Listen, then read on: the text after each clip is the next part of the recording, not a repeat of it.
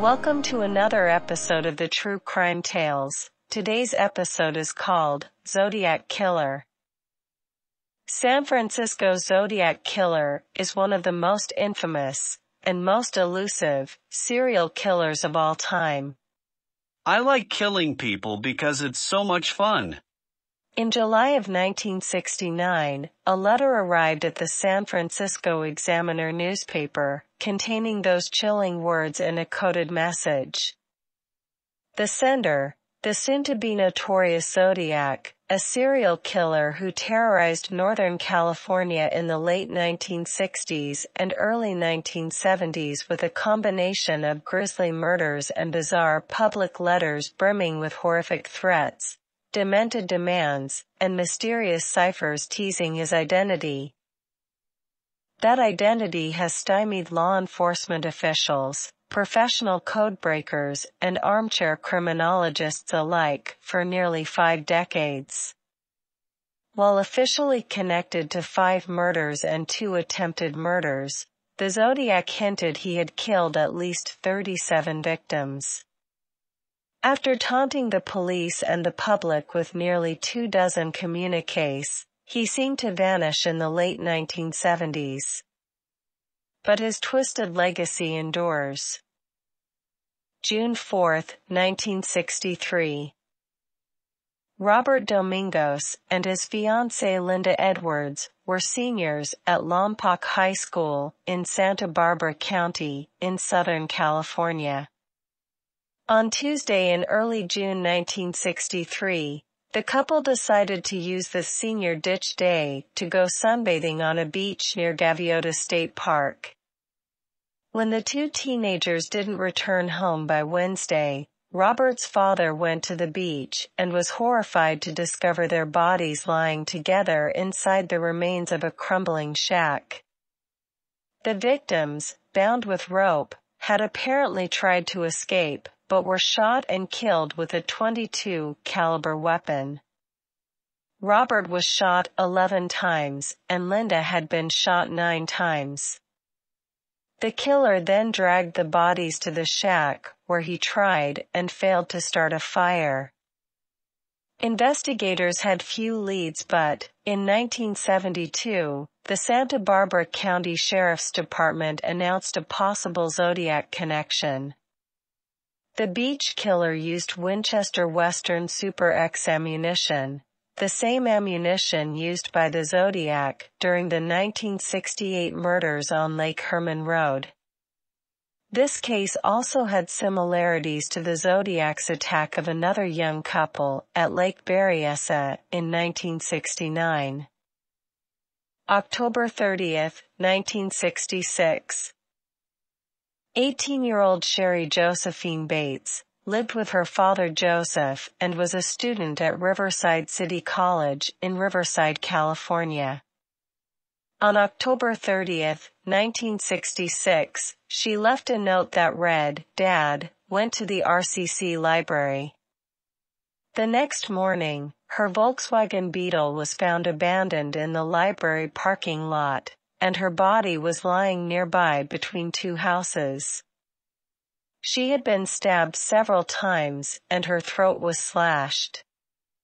Police found a men's Timex watch at the crime scene, a print from a military boot, and some hairs and dried blood on the victim's hand. Cheri Jo's purse was intact, and an autopsy revealed no evidence of sexual assault. One month after the murder, the local newspaper and the police department received typewritten letters titled The Confession from someone who claimed to be the killer.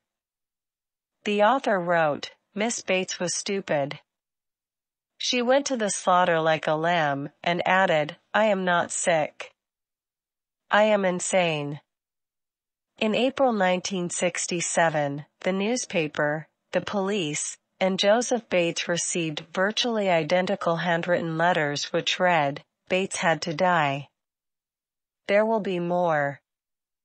The notes were signed with a symbol that resembled the letter Z. In 1969, Riverside police contacted investigators in Northern California regarding the similarities between the Zodiac crimes and the murder of Cheri Jo Bates. Sherwood Morrill, who was the documents examiner for the California Department of Justice, concluded that the Zodiac was responsible for the notes linked to the Bates case. The Riverside connection was later revealed to the public by Paul Avery, reporter for the San Francisco Chronicle. Zodiac then sent a letter to the Los Angeles Times indicating that the killer confirmed the theory that he had killed Bates.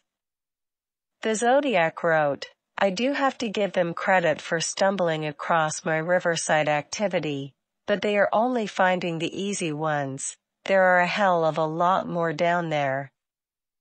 Years later, Riverside police rejected the Zodiac theory and focused on a man who they said was a rejected, former lover of Bates. In the late 1990s, police obtained a sample of the suspect's DNA to compare with the DNA taken from the hairs found in the victim's hand in 1966. The DNA didn't match, and the suspect denied any involvement in the murder. December 20, 1968. Five nights before Christmas, high school students Betty Lou Jensen and David Faraday set out on their first official date together, promising Betty Lou's parents they'd be home by 11 p.m. Shortly after that time, passing motorists saw the Rambler and its occupants parked at a lover's lane spot along Lake Herman Road in Benicia, California. Moments later, another driver noticed two seemingly lifeless bodies on the side of the road. Benicia police and others responded to the scene and discovered Betty Lou dead, with five bullet wounds in her back. David was found next to the Rambler with a bullet shot into his head, still breathing, but near death. Bullet holes in the car's roof and back window indicated that the killer may have fired warning shots to force the victims out of the vehicle. Shell casings recovered at the crime scene identified the ammunition as Winchester Western Super X copper coated.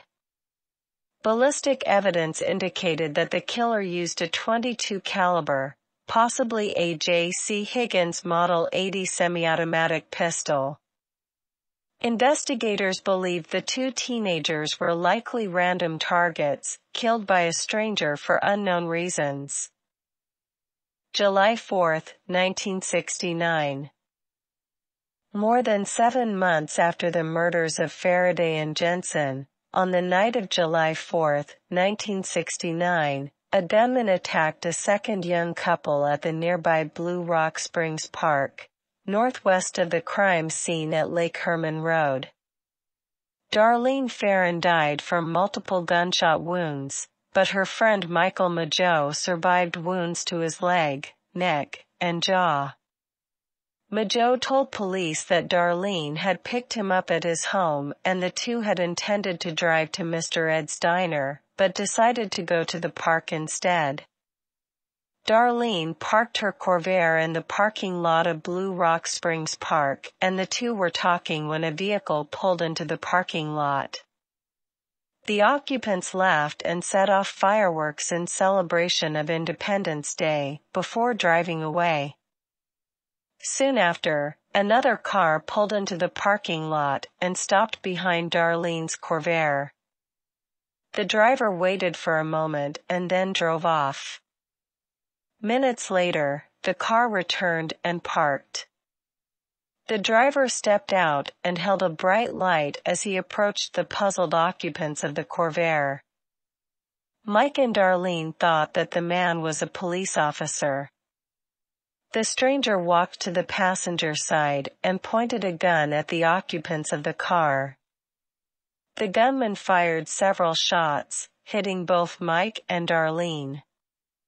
He then turned and began walking back to his vehicle. Mike cried out in pain and the gunman returned to fire several more shots at the already wounded victims. The stranger then climbed back into his car and drove away. He later used a payphone just blocks away from the Vallejo Police Department and called the station. When police dispatcher Nancy Slover answered, the caller spoke in a low, monotone voice, as if he were reading from a prepared script. I want to report a murder. If you will go one mile east on Columbus Parkway, you will find the kids in a brown car. They were shot with a 9mm Luger. I also killed those kids last year. Goodbye. Darlene died on arrival at the hospital, but Michael survived. According to Nancy Slover, the voice of the man who called the Vallejo Police Department indicated that he was at least 30 years of age or older. Surviving victim Michael Mageau was able to describe the gunman when interviewed by Vallejo police detective Ed Rust. According to Mageau, the suspect was a white male adult, short, possible 5'8", was real heavy set, beefy build, not blubbery fat, but real beefy, possibly 195 to 200 pounds, or maybe even larger, short curly hair, light brown, almost blonde, with a large face. Mageau later viewed photographs of various individuals, but he was unable to identify any possible suspects. September 27, 1969. On a Saturday in late September, college students, Bryan Hartnell and Cecilia Shepard were relaxing along the shore of Lake Berryessa some 30 miles north of Napa, California. A man appeared holding a gun and wearing a hooded costume with a white crossed circle stitched over the chest. Explaining that he had escaped from a prison and needed money and a car to escape to Mexico, the stranger bound their wrists with pre-cut lengths of plastic clothesline. Without warning, he plunged a large knife into Bryan's back six times. He then stabbed Cecilia ten times as she fought for her life. The man then walked to Bryan's car and used a pen to draw a crossed circle on the door with the dates and locations of the previous attacks. The date September 27, 69, the time 6.30, and the notation, by knife. At 7.40 p.m., the Napa Police Department received a call placed from a telephone booth located a few blocks away. Officer David Slate listened as the caller said in a low, monotone voice, I want to report a murder, no, a double murder. They are two miles north of park headquarters. They were in a white Volkswagen Karmann Ghia. Slate asked the man to provide his location, but the voice only grew more distant as the caller replied, I'm the one who did it. Investigators from Napa met with detectives in Vallejo and Benicia and compared notes, but were unable to develop any solid leads. The Zodiac may have believed that the three law enforcement agencies were not up to the task, and he invited the San Francisco Police Department to join in the hunt. October 11, 1969. Paul Stine, a 28-year-old student and husband, worked as a cab driver in San Francisco. That night, Stine picked up a fare headed for a destination in the upscale Presidio Heights neighborhood. At the intersection of Washington and Cherry Streets, the passenger shot Stine in the head and removed a piece of the victim's shirt. The man walked away just before the police arrived, but the police radio broadcast mistakenly described the suspect as a black man, and passing officers dismissed a white man resembling the correct description. Fingerprints found inside the cab and on its exterior were photographed and collected. On the driver's side of the vehicle, police found fingerprints which appeared to contain traces of blood. Investigators believed that these fingerprints may have been left by the killer.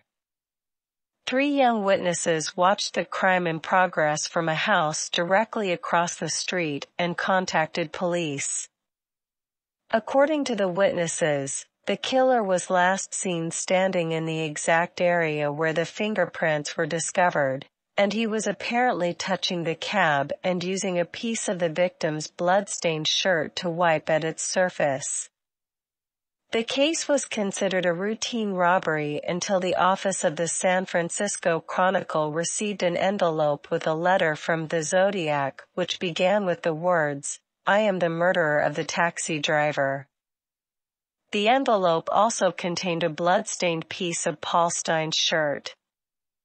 The Zodiac denied he left fingerprints and claimed that the police sketch was inaccurate because he had worn a disguise. March 22, 1970 On a Sunday in late March, 22-year-old Kathleen Johns packed her infant daughter into a station wagon and left San Bernardino, California to visit her sick mother in Petaluma, in the northern part of the state. Kathleen was also seven months pregnant with the child of her longtime boyfriend. As she traveled on Highway 132 near Modesto, another vehicle pulled alongside the station wagon and the driver appeared to signal that Kathleen should pull over.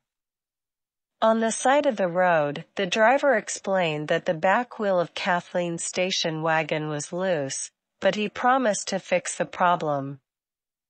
Instead, he loosened the lug nuts, and the wheel fell off as Kathleen tried to drive away.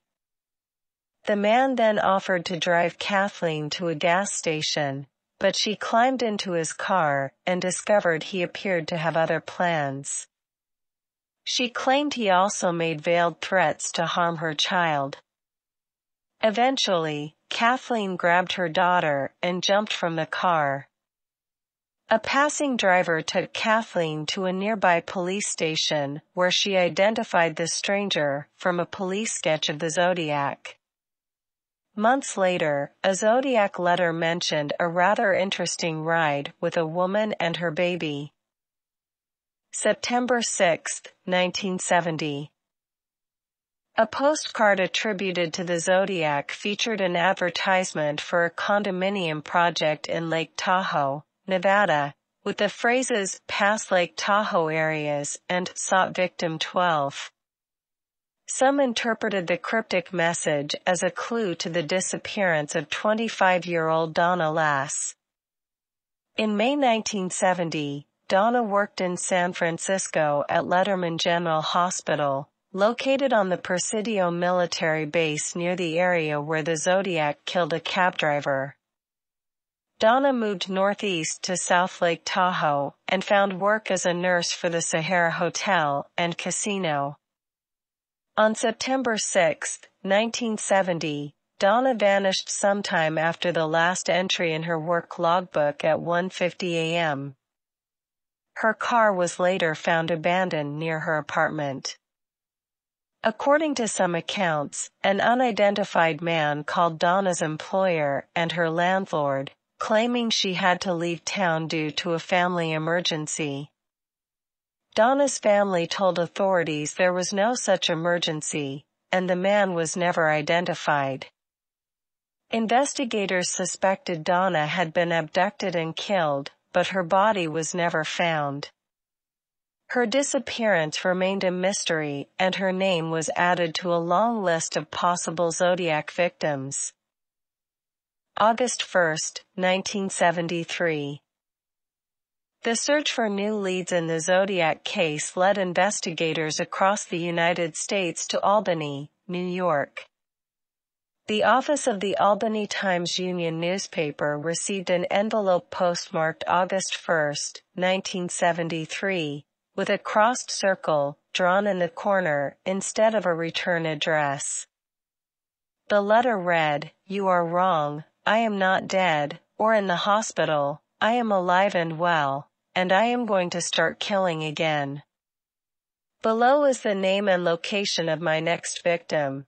But you had better hurry because I'm going to kill her August 10th at 5 p.m. when the shift changes. Albany is a nice town. Below the message, the writer included three rows of symbols. According to an FBI report, Bureau cryptanalysts deciphered the coded message to read Albany Medical Center. This is only the beginning. Investigators were unable to identify any murders that could explain the vague reference to a victim on August 10th.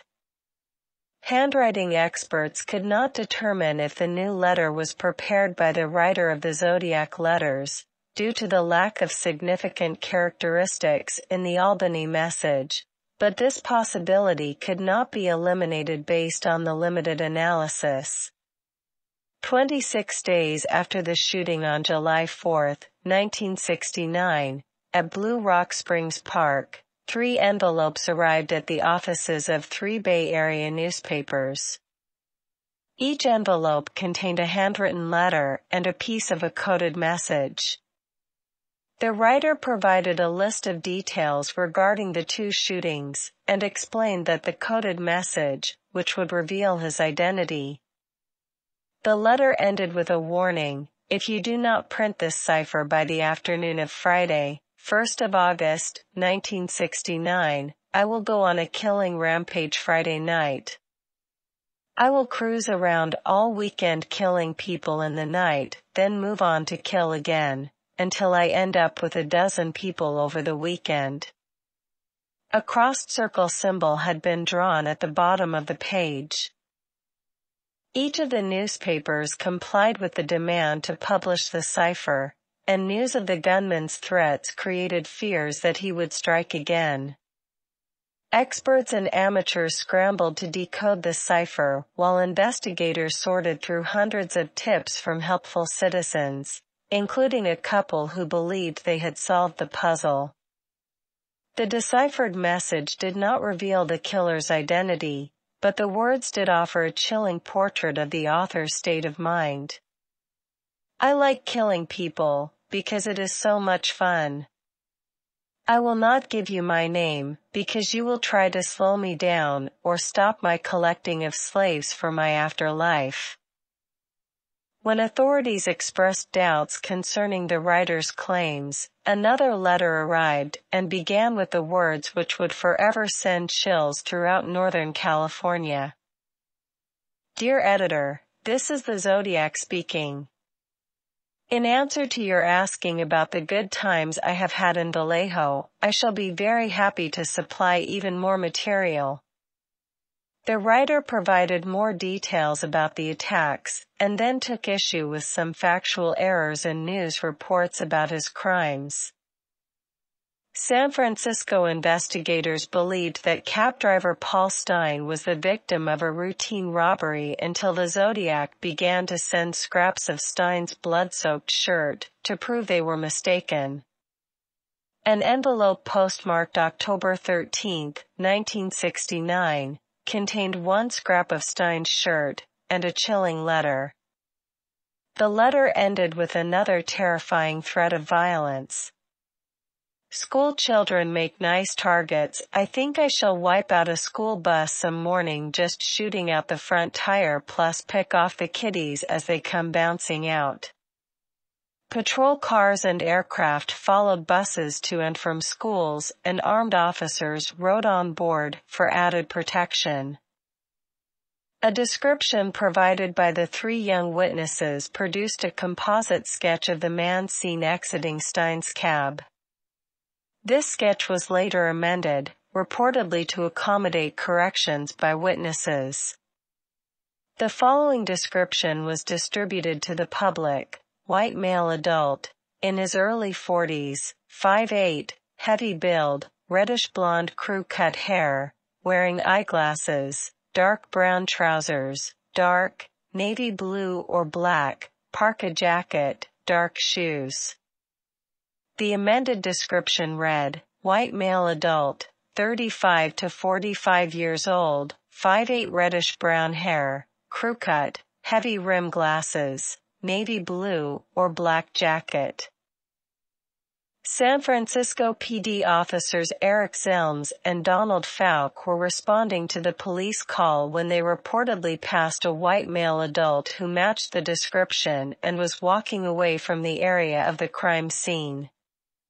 Fouke later provided the following description of the suspect in his official report.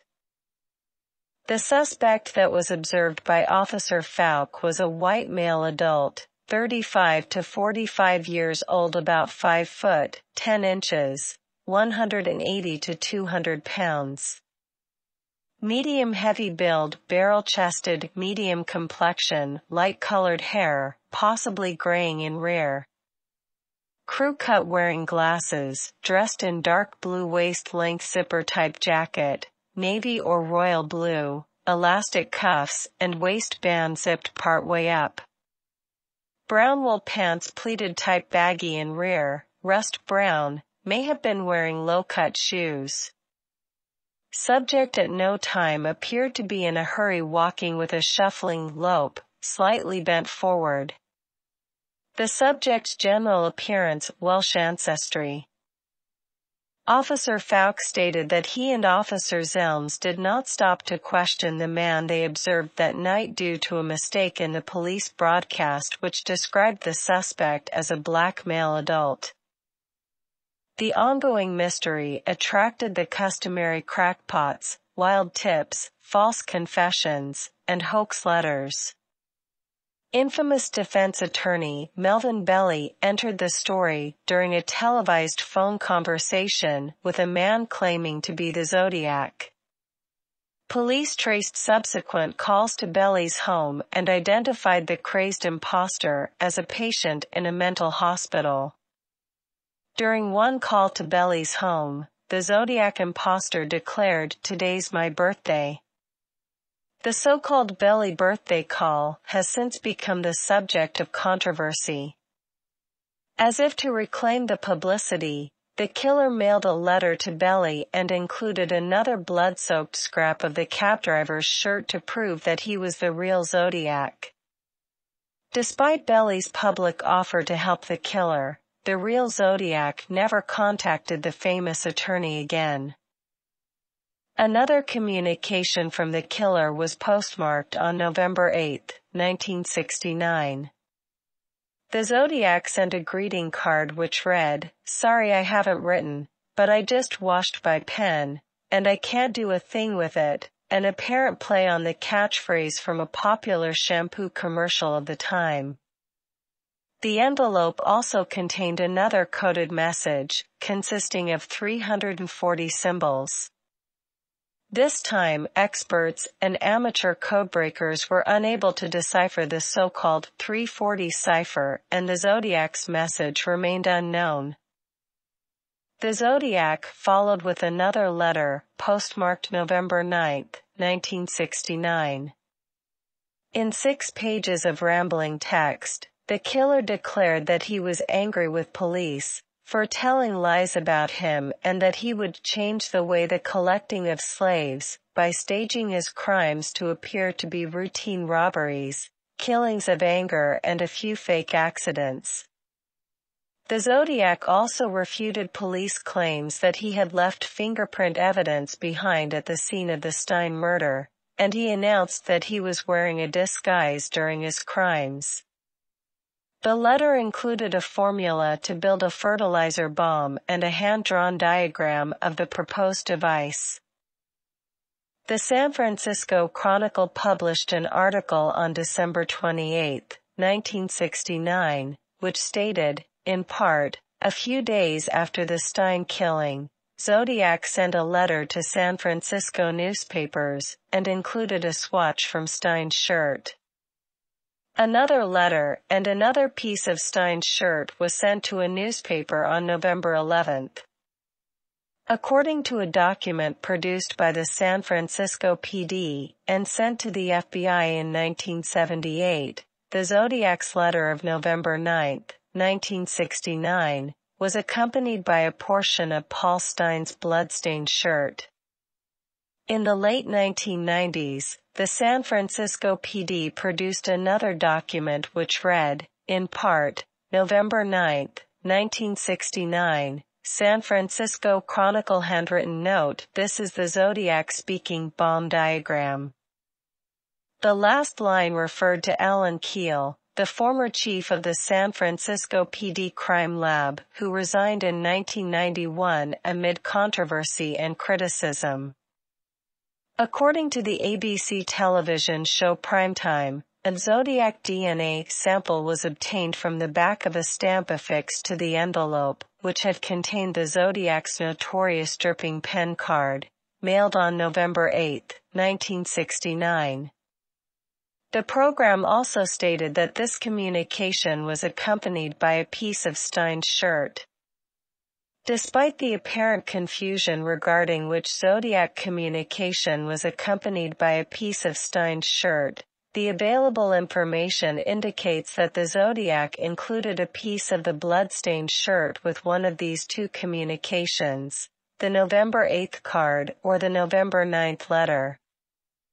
The first shirt piece was sent with the October 13, 1969, letter which claimed credit for Stine's murder and the other piece was sent to attorney Melvin Belli with the letter of December 20, 1969. If the Zodiac included a portion of Stine's shirt with the communications of November 1969, three pieces of Stine's shirt accompanied three Zodiac communications.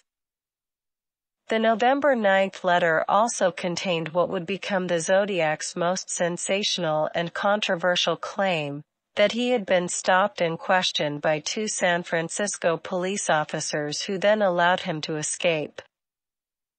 Also, two cops pulled a goof about three minutes after I left the cab.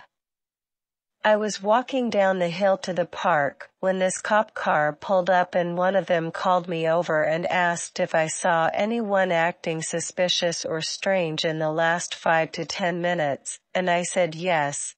There was this man who was running by waving a gun and the cops peeled rubber and went around the corner as I directed them, and I disappeared into the park, a block and a half away, never to be seen again. The zodiac conspicuously marked this section on the margin of the page and wrote, must print in paper. The San Francisco Police Department refuted the Zodiac's claim. The only two police officers who had reportedly seen the suspect were Eric Zelms and his one-time partner that fateful night, Donald Fouke. Zelms was killed in the line of duty on January 1, 1970. Fouke adamantly denied the Zodiac's version of events, but the story became one of the many persistent myths which dominated public accounts in the years to come. The Zodiac also demanded that the people of the Bay Area wear some nice Zodiac buttons bearing his chosen symbol, the crossed circle. When the public did not comply with his wishes, he wrote that he had punished them by shooting a man sitting in a parked car. Press reports linked the Zodiac to many other unsolved crimes, including the March 1970 abduction of a young woman. Kathleen Johns told authorities that she had accepted a ride from a mysterious stranger who resembled the Zodiac, but the man had turned menacing and threatened her life. Johns claimed that she managed to escape by jumping from the man's car. The Zodiac later claimed that he was responsible for the failed abduction in a subsequent letter. In one letter, the killer included long rambling descriptions of his fantasies of torture along with selected passages from the Gilbert and Sullivan musical, the Mikado. Some letters also featured a box score, which credited the Zodiac with an increasing number of victims followed by the notation, San Francisco PD equals zero, and the taunt, I hope you have fun trying to figure out who I killed. Given the killer's apparent freedom to do as he pleased, one passage was difficult to refute. The police shall never catch me, because I have been too clever for them. The failure to catch the Zodiac was a constant source of embarrassment for his chosen nemesis, the San Francisco Police Department. Each new letter became a liability as the psychotic pen pal wrote, Hey blue pig, doesn't it rile you to have your nose rubbed in your boo-boos? And, I have grown rather angry with the police for their telling lies about me. Reporter Paul Avery received a Halloween card from his new, secret pal, the Zodiac. Avery later learned of a possible link between the Bay Area killer and the unsolved murder of a young girl in Southern California several years earlier. The California Department of Justice and the Napa County Sheriff's Department had considered the possible Zodiac connection at the request of Riverside authorities who believed that the Zodiac may have been responsible for the crime. College student Cheri Jo Bates was murdered near the campus of Riverside City College on the night of October 30, 1966. Someone who claimed to be the killer had sent letters and notes to the police, a local newspaper, and the father of the victim. Question document examiner Sherwood Morrill of the Department of Justice and FBI experts concluded that the Zodiac may have written these messages. In a letter mailed to the Los Angeles Times on March 13, 1971, the Zodiac wrote that he was impressed by the police work which had linked him to the other case, but he claimed that there were still more victims yet to be found. Tired of playing with his apparently inferior pursuers, he challenged them and wrote, If the blue meanies are ever going to catch me, they had best get off their fat asses and do something. Correspondence from the killer ceased and the trail of the killer grew cold by the summer of 1971. As the Zodiac disappeared, someone like him began to appear on movie screens everywhere with the release of the Clint Eastwood action classic, Dirty Harry. Shot in San Francisco, the film featured Inspector Harry Callahan, a character reportedly based on San Francisco PD Inspector Dave Toschi, one of the investigators assigned to the Zodiac case. Callahan tracked a Zodiac-like villain named Scorpio who hijacked a school bus and met a violent demise in a final shootout with Eastwood. The Hollywood version delivered for audiences the justice which reality had refused to provide. The Zodiac resurfaced with a series of letters in the spring of 1974. The letter postmarked January 29, 1974 offered a review of the satanic blockbuster, The Exorcist. The writer described the film as the best satirical comedy he had ever seen. This letter also contained another quote from the musical, The Mikado, he plunged himself into the billowy wave and an echo arose from the suicide's grave. The Zodiac demanded that the letter be printed in the newspaper and warned, or I'll do something nasty, which you know I'm capable of doing. The writer did not use the name Zodiac, as if to underscore the suicide theme and suggest that he had abandoned the persona in favor of some new and perhaps improved alter ego as a social critic. The San Francisco Chronicle, then received a suspicious card, postmarked February 14, 1974. The text read, Dear editor did you know that the initials SLA, Symbionese Liberation Army, spelled SLA, an Old Norse word meaning kill. The card was signed, a friend. In a letter postmarked May 8, 1974, the writer expressed his consternation regarding what he considered the murder glorification in deplorable advertisements for the film, Badlands, which depicted the bloody crime spree of young lovers Richard Starkweather and Caril Ann Fugate. Another letter postmarked July 8, 1974, demanded the termination of a San Francisco Chronicle columnist because he suffered from a serious psychological disorder. Once again, the killer vanished. Headlines such as Cops No Closer to Zodiac's Identity and occasional articles reporting tenuous links to other unsolved cases kept the story alive over the years. The Zodiac crimes grew into local legend, and the ghost of the killer became a modern boogeyman in the serial killer pop culture phenomenon of the late 1970s. A new breed of monster, the multiple murderers, had given birth to a lucrative market for graphic and often lurid crime books.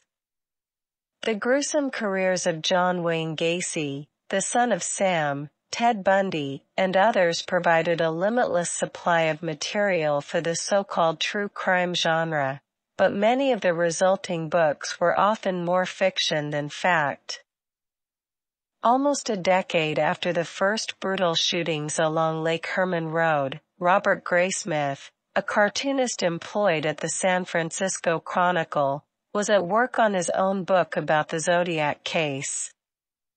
After conferring with San Francisco PD Inspector Dave Toschi, the celebrity cop in charge of the investigation, Graysmith had developed his own theories as well as a suspect named Arthur Lee Allen.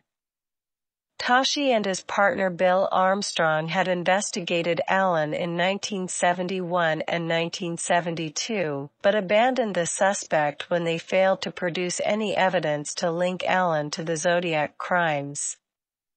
Allen's fingerprints did not match the suspected Zodiac fingerprints found at the scene of the Zodiac's last known murder in San Francisco. Sherwood Morrill, question document examiner assigned to the case by the California Department of Justice, had concluded that Allen did not write the Zodiac letters. Morrill's conclusions would be confirmed by other experts in later years. In April 1978, the San Francisco Chronicle received what appeared to be another letter from the Zodiac. The new letter mentioned Inspector Toschi by name, and rumors spread that the publicity-conscious cop had forged the letter. The subsequent media scandal caused great embarrassment for the San Francisco Police Department. Sherwood Morrill had retired after the Zodiac's last known communications in 1974. San Francisco police contacted John Shimoda at the U.S. Postal Service Crime Lab and requested a review of Morrill's analysis of the Zodiac letters.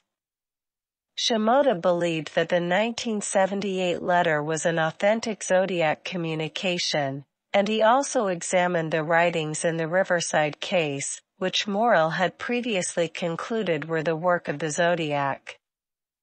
An FBI memo, dated May 18, described Shimoda's conclusions.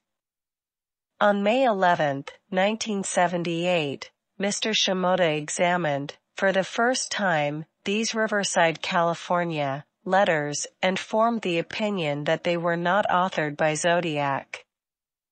We are requesting this additional examination to settle the disputed authorship due to the seriousness of the case. The memo stated that police had also contacted Michael Bertocchi of the State Bureau Department of Justice, CINI. Bertocchi said that further examination of all the Zodiac letters was warranted. Robert Prouty, chief of the Question Documents section of the State Bureau of Criminal Identification and Investigation was asked to analyze the 1978 letter. I examined the photographs of the April letter and those of previous letters attributed to Zodiac, Prouty said. My first impression was that it was in the same general style as previous letters, but after closer examination, my ultimate conclusion was that there were so many differences that it was not written by the same person who wrote the previous Zodiac letters. Several letter characteristics in my opinion did not match the style used by Zodiac.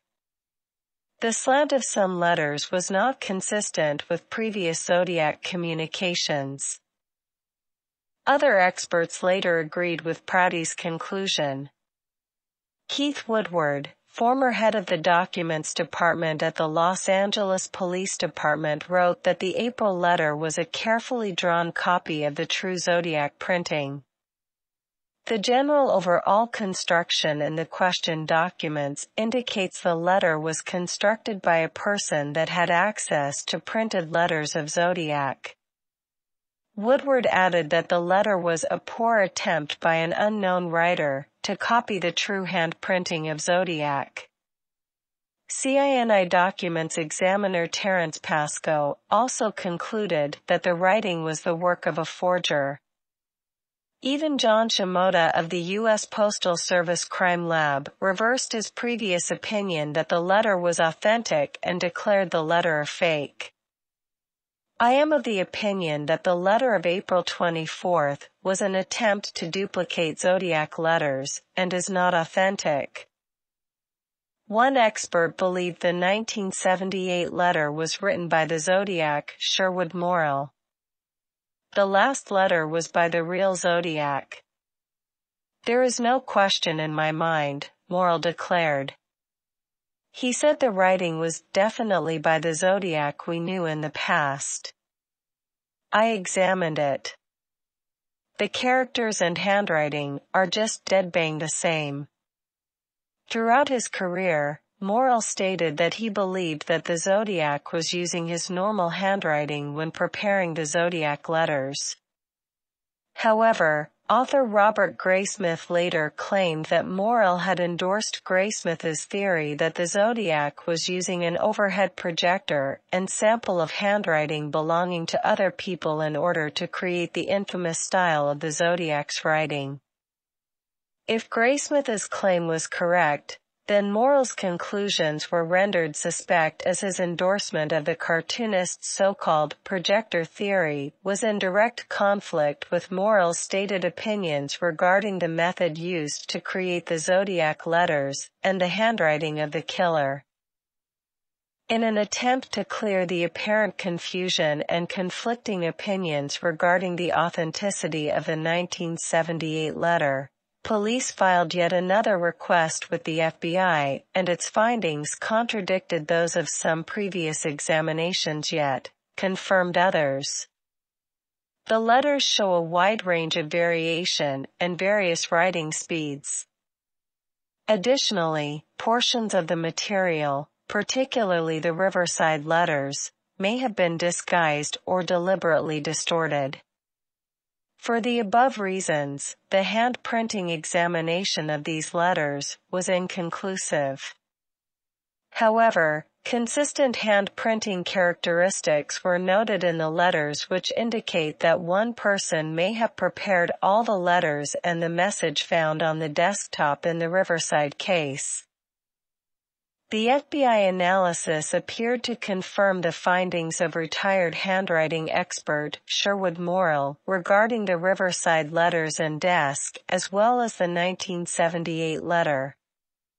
However, Morrill's conclusions regarding the Riverside writings were refuted by John Shimoda of the U.S. Postal Service Crime Lab and at least four other experts had rejected Morrill's opinion and concluded that the 1978 letter was a forgery. The results of the analysis did little to clear the cloud of confusion surrounding the authenticity of any suspected Zodiac communications. At a press conference held on the afternoon of July 11, 1978, Chief Gain announced that Inspector David Toschi had been removed from the Zodiac case and transferred to the pawn shop detail. Gain then further stunned reporters. The continuing investigation of the Zodiac case by our Zodiac investigation team established in April 1978 had led to the conclusion that there is reason to doubt whether Zodiac in fact wrote the April 24th letter. According to Gain, Toschi was not a suspect in the forgery case, and the police investigation had cleared Toschi of all suspicion. A memo produced by the San Francisco Police Department Crime Lab stated that the suspected Zodiac forgery of April 1978 was not an authentic Zodiac communication. If the 1978 letter was, indeed, a forgery, then the Zodiac had fallen silent in 1974 and had not communicated since that time. The Zodiac story faded from the headlines in the years that followed the scandal surrounding the 1978 letter. The 1986 release of Robert Graysmith's book immediately generated a new wave of news coverage that forever changed the public perception of the case and altered the course of the Zodiac investigation. Titled Zodiac, the book read like a screenplay featuring the author turned amateur sleuth at the center of the ongoing drama from the beginning, sharing secrets with investigators and hot on the trail of the killer. The cartoonist claimed that he had deciphered a zodiac code, proved that the killer had used a projector to disguise his own handwriting, and discovered an astrological pattern to the crimes. United Press International writer Richard M. Harnett's review of Zodiac appeared in the Los Angeles Times on February 9, 1986, and offered some of the only media criticism of the book. Harnett wrote that a good account of all the facts in the Zodiac affair would have been a valuable contribution, but Graysmith, a newspaper cartoonist, took on the role of amateur sleuth rather than historian. He neglects those parts of the historical record that don't fit into his scenario. The author's prime suspect, named in the book as Bob Hall Starr, was actually a convicted child molester named Arthur Lee Allen. Reported as a possible Zodiac suspect in 1971, Allen had been the subject of a brief investigation which had failed to produce any evidence linking him to the crimes. According to Graysmith, this man was a suspect in another string of killings, had confessed his guilt to friends, terrified his family, taunted police, and even described details of the crime before they occurred. Along with other convincing tales, these stories appeared to prove that Allen was, in fact, the elusive Zodiac. Unsuspecting readers of the book could not have known that most of the stories regarding the Graysmith as suspect were not true, or that his theories, code solution, and other claims were equally dubious. Despite its many factual errors and falsehoods, the book became a bestseller, and the media anointed the author as the expert on the seemingly solved case. Newspaper articles, television news reports and documentaries used the book as a definitive reference source, and often repeated its myths as fact while helping to convict the child molester in the court of public opinion. After the publicity surrounding the release of the book Zodiac, a man claiming to be the Zodiac killer surfaced with a series of shootings and letters in New York City during the early 1990s. Authorities dismissed the possibility that the original Zodiac killer had actually returned. The New York gunman responded with an angry declaration that he was the real Zodiac. This is the Zodiac. The note sent to the post, not to any of the San Francisco. The Zodiac letter you are wrong, the handwriting looks different, it is one of the same zodiac as the one in San Francisco who killed a man in the park with a gun and killed a woman with a knife and killed a man in the taxicab with a gun. Like his inspiration, the New York Zodiac seemed to vanish. When he returned to claim more victims, some observers doubted that he was the real copycat killer, leading to confusing nicknames used in media reports such Zodiac 2 or Zodiac 3. For years after his reign of terror began, police arrested unemployed high school dropout Heriberto Eddie Seda. A search of Seda's possessions revealed a well-worn copy of Robert Graysmith's book Zodiac. Unlike his predecessor, Seda was convicted and sentenced to serve 83.5 years in prison. Shortly after the copycat Zodiac resurrected the Zodiac story in the news, aging career criminal Ralph Spinelli contacted the Vallejo Police Department in hopes of trading information for a deal to avoid a 30-year prison sentence. In exchange for his total freedom, the helpful felon was willing to testify that Arthur Lee Allen had accurately predicted that the Zodiac would kill a cab driver in San Francisco. Spinelli had a history of antagonism with the suspect that dated back decades, when a fistfight between the two men resulted in their arrests. Vallejo Police Captain Roy Conway rejected Spinelli's offer, but used his claims to launch a new investigation of Allen conducted by retired Detective George Bawart.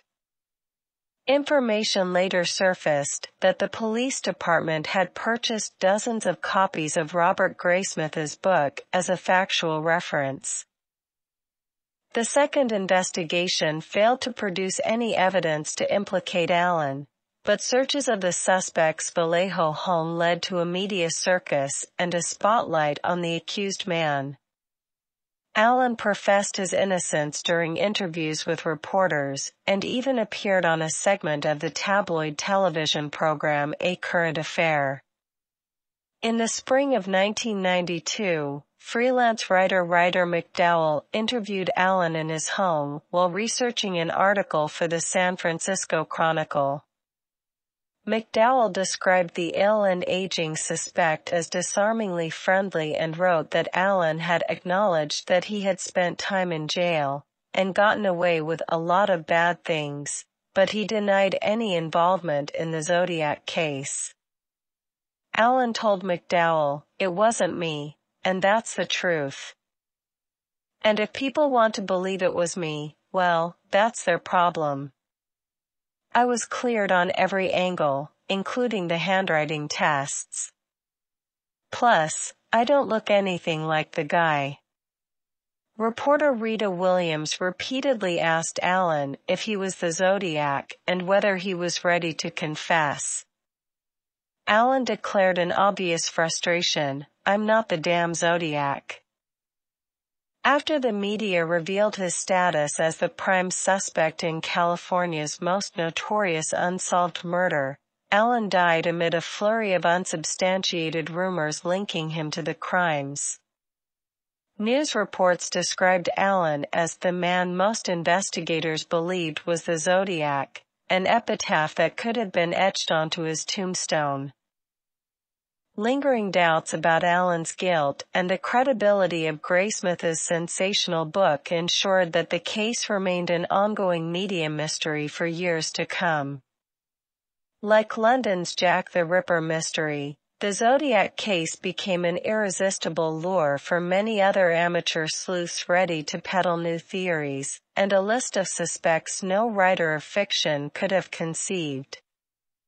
A wealthy San Francisco businessman, a former Harvard lecturer, and a cast of unlucky men were wrongfully accused, while other theories linked the Zodiac to the Unabomber, members of the murderous Manson family, Texarkana's Phantom Killer, Wichita's BTK Strangler, and other notorious crimes throughout history. The Zodiac story found its way to the internet, where websites featured updates on the case, police files, and crime scene photographs, as well as public message board debates regarding the various suspects and theories. Publicity surrounding one website devoted to suspect Arthur Lee Allen inspired Graysmith to write a sequel to his first work titled Zodiac Unmasked. The second book offered little more than another highly fictionalized account of the case, as well as many unsubstantiated or factually inaccurate claims concerning the evidence said to connect Allen to the Zodiac crimes. Shortly after the publication of the book, the San Francisco Police Department submitted the known Zodiac letters to its newly developed crime lab for forensic testing. Attempts to extract DNA from the letters proved successful, and Dr. Cydne Holt and others were able to develop a partial genetic profile. According to the ABC television documentary program Primetime, the sample in question was obtained from the back of a stamp, affixed to the envelope which had contained the Zodiac's notorious dripping pen card, mailed November 8, 1969. Members of the San Francisco PD believed that the DNA profile belonged to the Zodiac and was valuable evidence useful in eliminating suspects. Critics, skeptics, and theorists with pet suspects excluded by DNA comparisons claimed that the profile was unreliable while citing aging or contaminated biological material on the letters and envelopes as cause to dismiss the findings. Arthur Lee Allen was among those suspects excluded by DNA comparison, yet this seemingly important fact, and the lack of credible evidence to link him to the Zodiac crimes, did little to deter his accusers. In April 2004, the San Francisco Police Department made a stunning announcement. The case is being placed inactive, said San Francisco Police Lieutenant John Hennessy, head of the department's homicide unit. Given the pressure of our existing caseload and the number of cases that remain open at this time, we need to be most efficient at using our resources. By 2007, Robert Graysmith's book served as the basis for the major motion picture Zodiac directed by David Fincher, the man behind the serial killer cult film, Seven. This telling of the Zodiac story followed the cartoonist, portrayed by Brokeback Mountain star Jake Gyllenhaal, as the unlikely hero who pursues suspect Arthur Lee Allen and unlocks the mystery of the Zodiac crimes. Fincher told a reporter working for the New York Times, it was a difficult thing to make a movie that posthumously convicts somebody. Gyllenhaal told reporters that he portrayed Robert Graysmith, the man who solved the case. Retired Napa County Sheriff's investigator Ken Narlow, assigned to investigate the Zodiac attack at Lake Berryessa in 1969, served as a consultant on the film. In an interview with reporter Marcia Dorgan of the Napa Register, Narlow said the film did not focus on the crimes. It is based on Chronicle cartoonist Robert Graysmith's book Zodiac. He explained, the movie is about the obsession the Chronicle guys and the two San Francisco inspectors had in trying to solve the case. It took over their lives. The Zodiac would kill and then send these letters in code to the Chronicle and law enforcement challenging them to find him. The movie is about the pursuit of the suspect, not focusing on the Zodiac killings. Retired Napa County Sheriff's Deputy Dave Collins also served as a consultant for the film and was on the scene of the 1969 stabbing at the lake. Collins was not impressed by the ongoing attempts to posthumously convict Arthur Lee Allen in the court of public opinion, and remarked, We don't believe that Allen is the Zodiac. There is not enough evidence to prove that. The Sheriff's Department considers the case to still be open. Ken Narlow was still waiting for the story to end. He told a reporter, as time goes by, I have my doubts that the Zodiac is still alive. But I still think the case can be solved. That will happen only when some citizen remembers something and comes forth. Narlow remained determined to identify the elusive killer. I really wanted to solve that case before I retired. I will never give up hope. Under the title SFPD Not Thrilled About Spotlight on Zodiac, San Francisco Examiner columnist Ken Garcia wrote, It's been nearly four decades since the last murder. The case has officially been listed as inactive. And yet the public fascination with the Zodiac Killer seems to just grow with time, a true story that has expanded into urban myth. And now the movie. Up until a few years ago, police were getting calls on the Zodiac on almost a daily basis, but it took so much time and attention away from ongoing homicide cases that they put it on the inactive list until the day they get a lead that might go somewhere. But they were hoping it wouldn't go to Hollywood, backed by a marketing campaign. It's a legend in the movie making. While preparing for an article about the release of the new film, employees at the San Francisco Chronicle discovered what appeared to be a long-forgotten communication from the elusive pen pal. Postmarked in Eureka, California in December 1990, the red envelope was overlooked amid the many hoax letters and forgeries that plagued the newspaper after the release of Graysmith's first book and the sensational media coverage surrounding the crimes of a Zodiac copycat killer in New York. If the card was an authentic Zodiac communication, the killer was still alive as late as 1990, still taunting, and still at large more than 16 years after his brief appearance in 1974. If the killer was aware of the New York imposter, the 1990 card may have been an attempt to reclaim his murderous persona. Addressed to the Chronicle in pencil and with an eerily familiar style, the envelope bore a 25 cent stamp depicting a Christmas tree and contained a holiday greeting card. On the front of the card, a snowman wearing a Groucho Mark nose, mustache, and glasses stands in a snowstorm as a small rabbit watches. The text of the card was reminiscent of the Zodiac's Halloween card to reporter Paul Avery more than 20 years earlier. From your secret pal. Can't guess who I am yet. Well look inside and you'll find out. The inside of the card read, Bet I'm gonna keep you guessing. Happy holidays, anyway. The writer had also included a Xerox of two keys on a chain attached to a small pen-like cylinder. Marked USPS for the United States Postal Service, the keys had identification numbers of undetermined significance, leading to speculation that the Xerox might lead to a post office box containing the identity of the Zodiac, or some other clue that could provide the solution to the case. In the years which followed the release of the 2007 film Zodiac, public interest in the unsolved crimes continued to grow, as did the cottage industry of books, websites, television shows, and movies.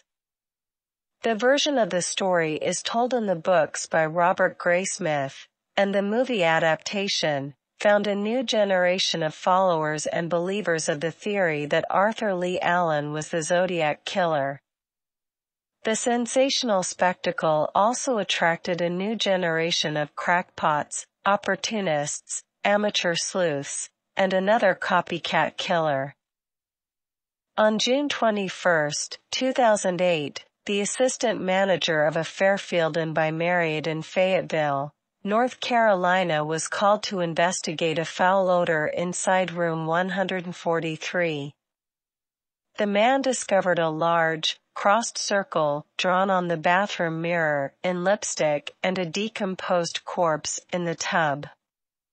The victim was later identified as Megan Lynn a 23-year-old Army dental specialist stationed at the nearby Fort Bragg military base. An autopsy revealed that Touma was pregnant at the time of the murder. As news of the killing spread, the killer issued his own press release. The envelope arrived at the offices of the local newspaper, the Fayetteville Observer, on June 24. The typed letter had been signed with a crossed circle symbol and read, To whom it may concern. The following is to inform that I am responsible for the dead body that was found on Saturday, June 21st at 11.30 in room 143 at Fairfield Inn by Marriott off Skibo RD. It was a masterpiece. I confess that I have killed many times before in several states, but now I will start using my model signature. There will be many more to come. Fayetteville law enforcement is very incompetent. I basically sat there and watched while investigators were on site. Police later arrested and charged the man who was reportedly engaged to marry Megan, Sergeant Edgar Patino Lopez. A member of the 18th Engineer Brigade, Patino studied psychological operations tactics, including propaganda methods using print, radio, and television news media, as well as other unconventional techniques. Police stated that a typewriter found in the suspect's home matched the Zodiac-like letter sent to the Fayetteville Observer.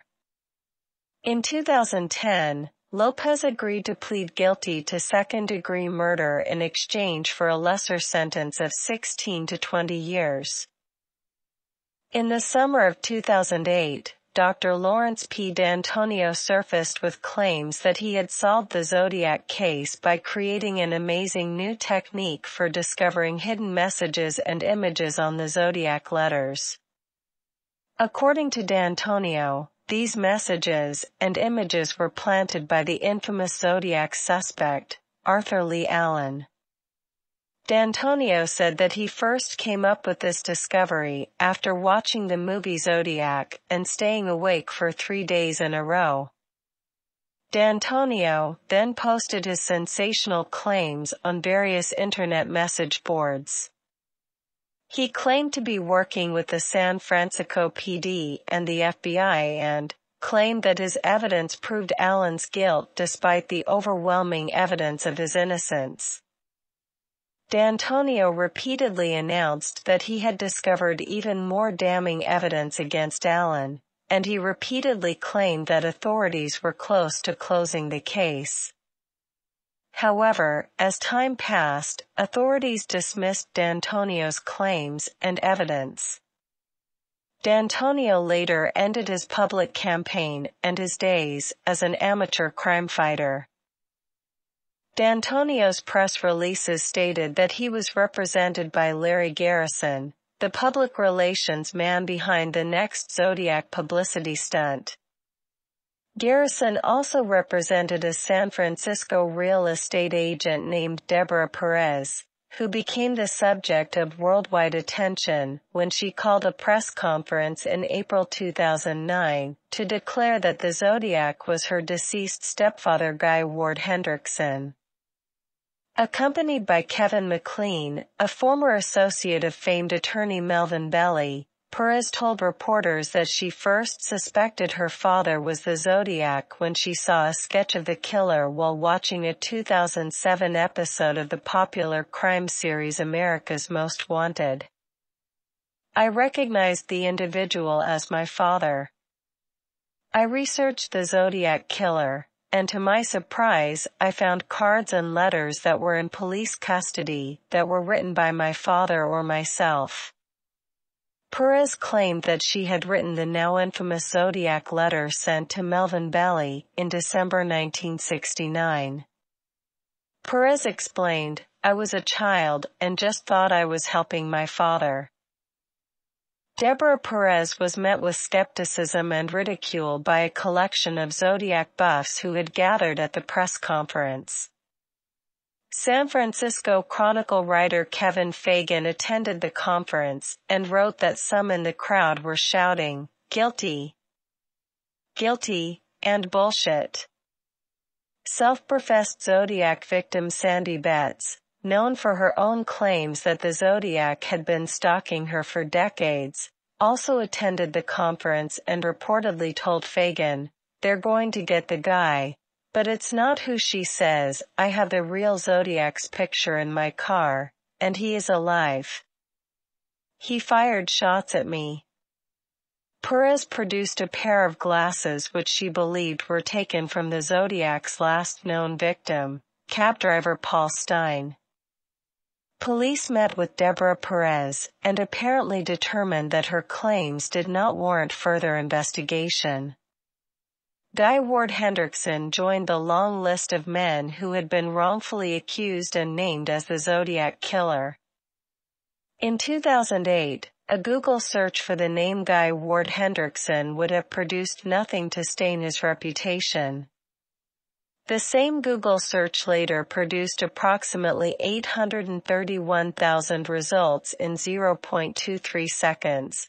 Virtually all these listings identified Hendrickson as a Zodiac suspect, casting a permanent and dark cloud over his memory. Members of the Hendrickson family refuted the claims made by Deborah Perez, and others questioned her motives and credibility. According to several sources, including true crime writer M. William Phelps, Perez had also claimed that she was the daughter of President John F. Kennedy. Perez eventually vanished from the glare of the spotlight, but her brief appearance had further clouded the public perception of the unsolved mystery. Dennis Kaufman claimed that his stepfather, Jack Tarrance, was the Zodiac. Kaufman also claimed that he had searched his father's possessions and discovered several incriminating items, including a roll of film which he believed depicted possible murder victims, and a bizarre, hooded costume similar to that used by the Zodiac. After years of promoting himself on the internet, Kaufman was featured in the cable television program True Crime, hosted by crime writer Aphrodite Jones. Authorities investigated Kaufman's claims and examined his evidence, but found nothing to implicate Jack Tarrance in the Zodiac crimes. Kaufman's public campaign continued as other men came forward to accuse their own fathers. Retired LAPD detective turned crime writer Steve Hodel published a book titled Black Dahlia Avenger, in which he claimed that his father, Dr. George Hodel, was responsible for the infamous Black Dahlia murder in the late 1940s. After the success of his first book, Hodel returned with a sequel titled Most Evil. He now claimed that his father was also responsible for the Chicago lipstick murders as well as the Zodiac crimes. Many who had studied the Dahlia and Zodiac cases dismissed Hodel's theories and claims. Steve Hodel had once enjoyed the endorsement of famed writer James Ellroy, author of the book Black Dahlia, but Elroy retracted that endorsement after Hodel's theories expanded. Steve Hodel began work on a third book and continued to post new theories and claims on his website. In 2008, Another suspect was named by Tom Voigt and an informant known by several aliases. Voigt had a long history of promoting individuals who were known as unreliable sources and informants, including Robert Graysmith, Zodiac slash Manson conspiracy theorist Howard Davis, self-professed Zodiac victim Sandy Betts, and others. Since the late 1980s, Blaine T. Blaine aka Sagittarius aka Goldcatcher had claimed that his former friend and associate Richard Gaikowski was the Zodiac. According to Blaine's account, Gaikowski confessed that he was the Zodiac killer and invited Blaine to join him in ongoing acts of shocking violence in what he called the Golden Calf Killings named for the golden calf and the subject of a book which Blaine had written some years earlier. Blaine claimed that he had watched as Gaikowski killed a San Francisco cab driver. Blaine contacted various law enforcement agencies and claimed that he had solved the Zodiac codes and identified Gaikowski as the killer. Every single law enforcement agency dismissed Blaine's claims, and the late San Francisco police inspector Mike Maloney reportedly referred to Blaine as one of the top three Zodiac kooks. As the years passed, Blaine occasionally reappeared to tell his story, but few were willing to listen. After Richard Gaikowski died in 2004, Tom Voigt posted public messages on the internet in an attempt to solicit information about Blaine and Gaikowski. Eventually, Voigt met with Blaine and then launched a public campaign naming Gaikowski as a viable Zodiac suspect. Many people who had known Richard Gaikowski were angered by the accusations and defended his reputation. Despite the lack of credible evidence to implicate Gaikowski in the Zodiac crimes, this theory was later featured in the 2009 television documentary, Mystery Quest. Theorist Gareth Penn self-published his 1987 book titled Time 17, which named former Harvard lecturer Michael O'Hare as the Zodiac Killer. Penn claimed that O'Hare committed the Zodiac crimes as part of an elaborate, intellectual art project, which used the locations of the attacks to create giant, invisible geometric formations. Penn also believed that O'Hare planned more attacks in the future and intended to end the Zodiac story with his own suicide. According to FBI reports, Penn had sent several bizarre messages to O'Hare in an apparent attempt to provoke a response. Penn's odd behavior over the years led some observers to suspect that he might be the Zodiac killer, and this theory later dominated many discussions on internet message boards. Penn's response to these accusations only fueled the suspicions of his accusers. Another zodiac theorist named Raymond Grant spent two decades creating what eventually became his theory that Penn and O'Hare had worked together to commit the zodiac crimes with the assistance of their parents. Grant self-published the first editions of his book, The Zodiac Murders Solved, in the early 1990s.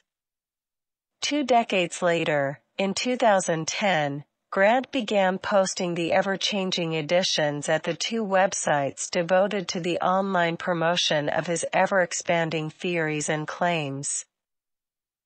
Several retired police officers resurfaced with an already dismissed suspect who had previously been named in Robert Graysmith's book Zodiac under the pseudonym Andrew Todd Walker.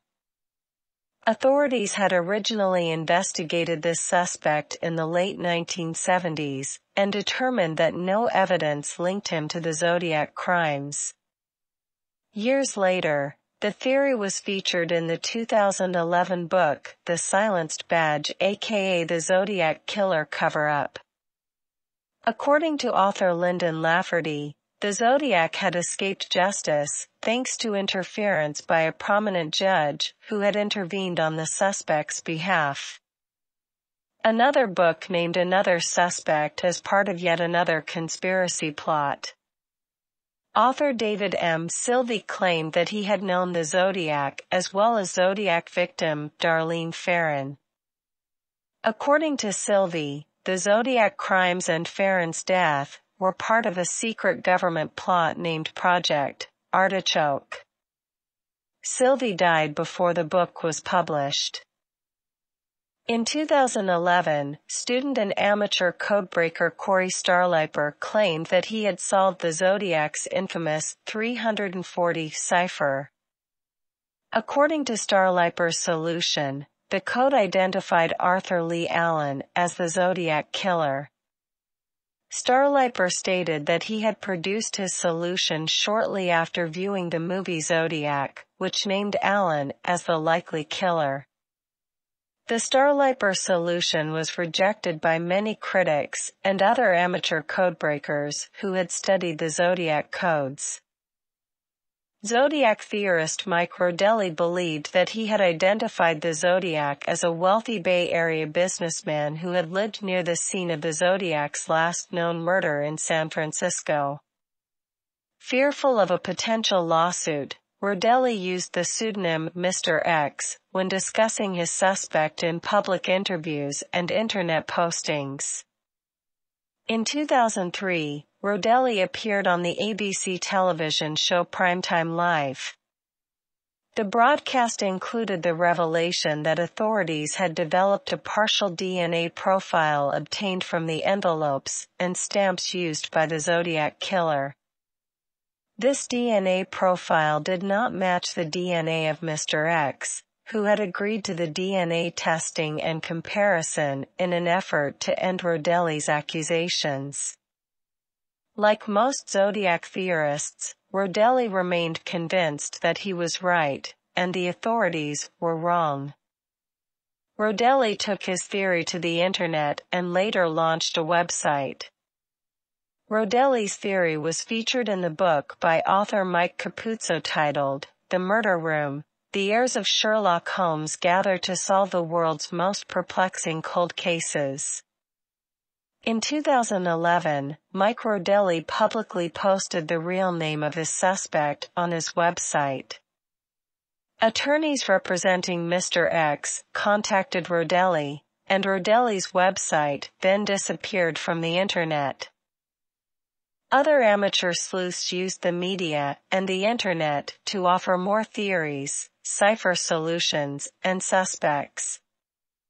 The identity of the Zodiac Killer became the holy grail of true crime history.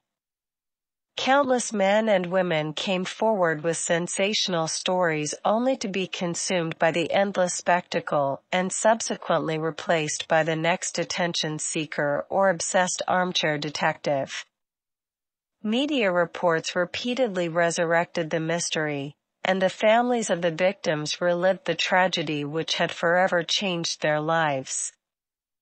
Many law enforcement agencies were often forced to waste resources, manpower, and money to investigate each new suspect. Decades of investigation and advances in forensic science produced evidence which authorities believed could be used to identify the Zodiac. A partial DNA profile was obtained from a Zodiac envelope. This partial DNA profile did not match Arthur Lee Allen, Mr. X, or any other suspects. A palm print was lifted from the so-called exorcist letter attributed to the Zodiac in 1974. This palm print did not belong to Allen or any other suspects. Three of the Zodiac's four coded messages remain unsolved and, if deciphered, may reveal information which could identify the Zodiac. Most handwriting experts believed that the Zodiac's handwriting could be used to identify the killer. Experts working with law enforcement concluded that Allen and other suspects did not write the Zodiac letters. The San Francisco Police Department, the Vallejo Police Department, the Napa County Sheriff's Office, and other law enforcement agencies continued to investigate various leads and other attempts to gather new forensic evidence.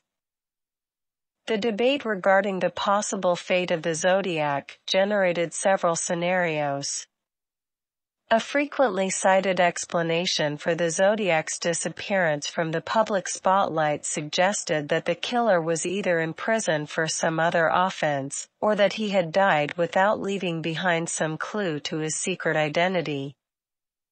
This explanation had also been offered to explain the disappearance of other elusive serial killers, such as the Green River Killer and the BTK Strangler.